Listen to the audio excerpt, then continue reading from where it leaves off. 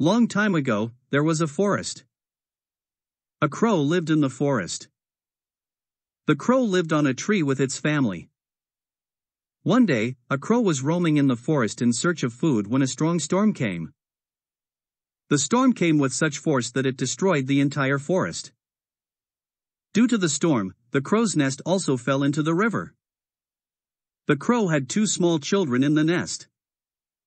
When the crow came to his home, he saw that his nest had fallen into the river and both his children started drowning in the river. Seeing this, the crow shouted, he started shouting loudly and saying that someone should save his child, but no one came to save the crow's child, then suddenly an elephant came there. When he saw, the elephant saved the crow's children with its trunk.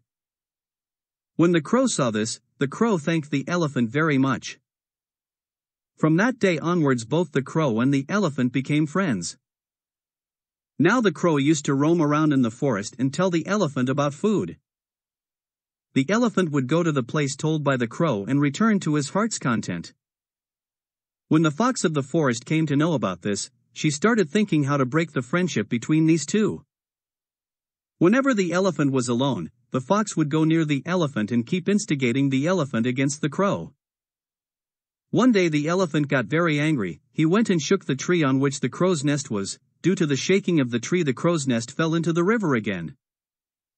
When the crow came and saw it, he started crying loudly and went to the elephant and asked, Friend, why did you do this? On this, the elephant told the crow all the things told by the fox.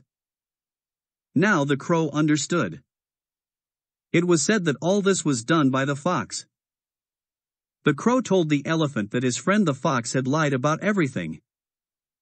Now the elephant understood that the fox had caused a fight between them. Now the elephant was feeling regretful about what he had done and was feeling very embarrassed that he had believed what someone else had said.